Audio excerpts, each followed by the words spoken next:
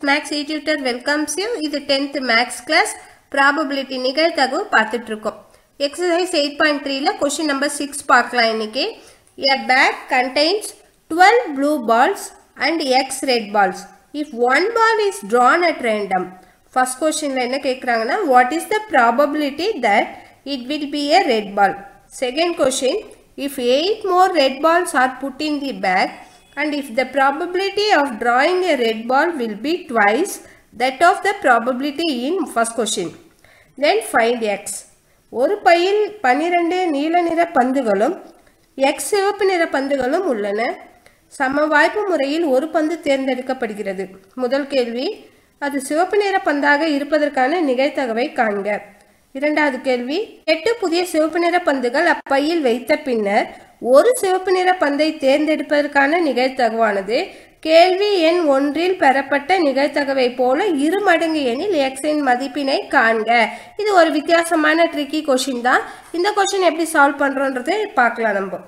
இப்போ ஃபஸ்ட்டு கொஷினில் அவங்க என்ன கேட்குறாங்க அப்படின்னா நம்மளுக்கு ரெட் பால் தான். ஃபஸ்ட் கொஷினும் ரெட் பால்க்கான ப்ராபபிலிட்டி தான். செகண்ட் கொஷினும் ரெட் பால்க்கான ப்ராபபிலிட்டி தான். ஃபஸ்ட் கொஷின் அப்படின்னு பார்த்தீங்கன்னா what is the probability that it will be a red ball அப்படின்னு கேட்குறாங்க பாருங்கள் சிவப்பு பந்தாக இருப்பதற்கான நிகழ்த்தகு தான் செகண்ட் கொஸ்டின் போய் பார்த்தீங்கன்னா அதுவுமே சிவப்பு நிற பந்துக்கான அதாவது டிராயிங் ரெட் பால் தான் கொடுத்துருக்காங்க பாருங்கள் அதுவுமே சிவப்பு நிற பந்துக்கான கொஷின் தான். அப்போ ஃபஸ்ட்டும் சிவப்பு நிற பந்துக்கான ப்ராபபிலிட்டி கண்டுபிடிக்கணும்.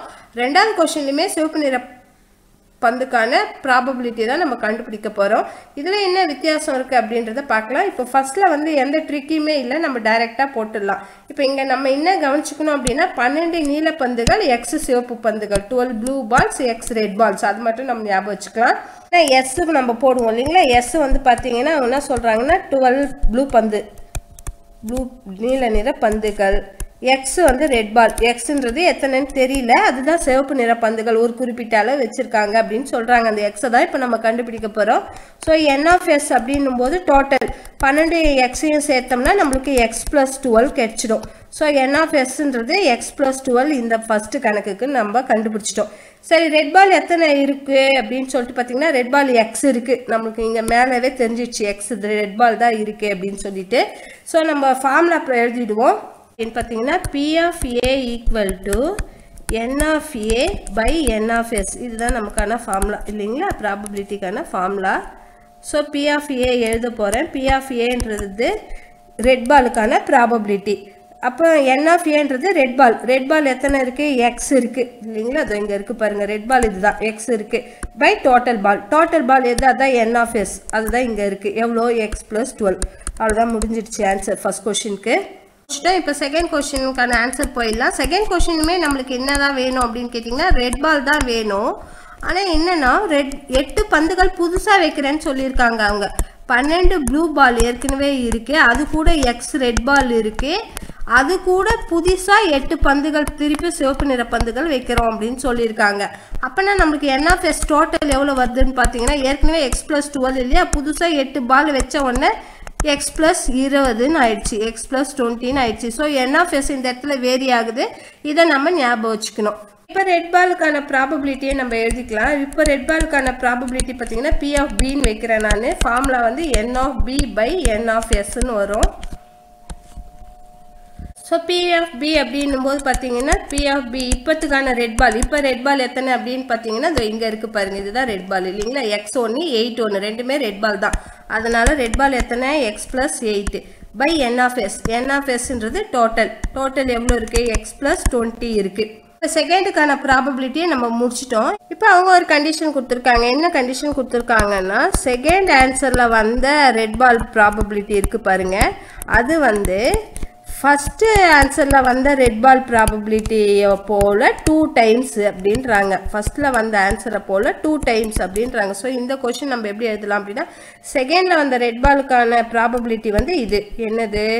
X plus eight by x plus twenty equal to two டைம்ஸ்னு அவங்க கொடுத்ததாலும் நம்ம டூ போட்டுக்கிறோம். ஃபஸ்ட்டுக்கான ஆன்சர் பார்த்தீங்கன்னா இது. ஃபஸ்ட்கான ஆன்சர் என்ன கிடச்சிருக்கு? X by x plus twelve கிடச்சிருக்கு. இப்போ இதை சால்வ் பண்ணோம்னா எக்ஸோட வேல்யூ நம்மளுக்கு கிடச்சிடும். ஸோ இதை எப்படி சால்வ் பண்ணுறது அப்படின்னு பார்த்துக்கலாம் x plus eight by x plus twenty இந்த டூவை இந்த சைடு பண்ணும்போது two x by x plus டுவெல்னு இருக்கும். இப்போ இதை கிராஸ் மல்டிப்ளை பண்ணிக்கலாம்.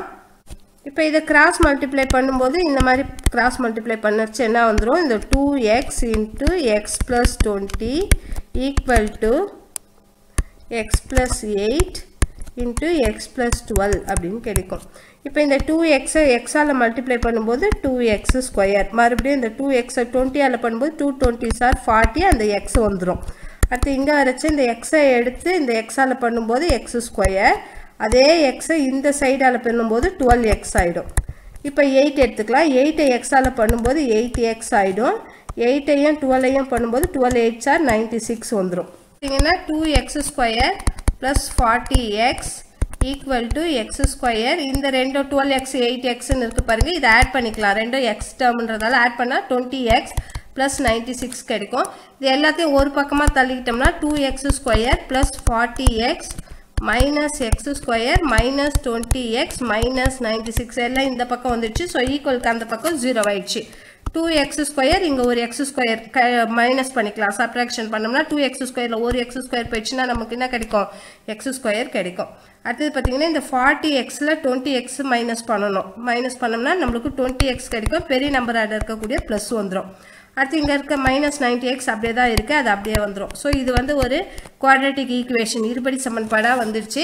இப்போ இதை நம்ம கா ஃபேக்டரைசேஷன் பண்ணணும். காரணிப்படுத்துதல். அதாவது இங்கே லாஸ்ட்டாக இருக்கக்கூடிய இந்த நைன்டி சிக்ஸ் இருக்குது பாருங்கள் மைனஸ் நைன்டி சிக்ஸு இதை எடுத்து ஃபேக்டர்ஸ் பிரிக்கணும். ஃபேக்டர்ஸ் பிரிக்கும் போது இந்த சமுக்கு வந்து டுவெண்ட்டி ஃபோர் ஃபோர் சார்னு வரும்.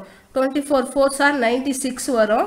நம்ம சப்ராக்ஷன் பண்ணோம்னா நடுவில் இருக்கக்கூடிய டுவெண்ட்டி வந்துடுது பாருங்கள் நிறைய ப்ளஸ் இருக்கிறதால பெரிய நம்பருக்கு ப்ளஸ்ஸும் சின்ன நம்பருக்கு மைனஸும் கொடுத்தோம்னா இதை வந்து இப்படியே எக்ஸாக கூட ஆட் பண்ணி எழுதிக்கலாம்.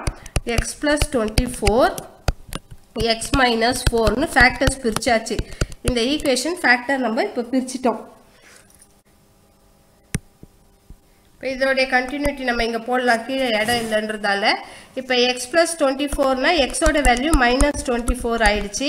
அதே மாதிரி எக்ஸ் மைனஸ் ஃபோர்னால் அந்த பக்கம் ஈக்குவல் அந்த பக்கம் தள்ளும்போது அது ப்ளஸ்ஸாக மாறிடும். சைன் சேஞ்ச் ஆகிடும் எக்ஸ் ப்ளஸ் டுவெண்ட்டி ஃபோர்னும் போது அது மைனஸ் டுவெண்ட்டி ஃபோர் ஆகிடும் எக்ஸ் ஈக்குவல்ட்டுன்னு எடுக்கும்போது சைன் சேஞ்ச் ஆகிடும் அதே மாதிரி எக்ஸ் மைனஸ் ஃபோர் வந்து எப்படி ஆயிடுச்சு? X equal to four plus four ஆயிடுச்சு. இப்போ இந்த மைனஸ் வேல்யூவில் எப்பவுமே எக்ஸ் வராது. அதனால இந்த வேல்யூ நம்மளுக்கு கிடையாது. ஸோ இந்த வேல்யூ தான் நம்ம எடுத்துக்குவோம். எந்த value x equal to four அப்படின்னு நம்மளுக்கு கிடைச்சிருக்கு ஆன்சர் ஸோ ஆன்சர் ஃபைண்ட் எக்ஸ்ன்றது தான் question x equal to four என்பது தான் ஆன்சர் ஸோ இன்றைக்கி ஒரு ஃபைவ் மார்க் கொஷின் பார்த்தோம். இது கொஞ்சம் ட்ரிக்கி கொஷின் தான். பட் ரெண்டு வாட்டி மூணு வாட்டி நம்ம பார்க்கும்போது இதனுடைய ஆன்சர்ஸ் வந்து நம்மளுக்கு நல்லா ஞாபகம் வச்சிடும்.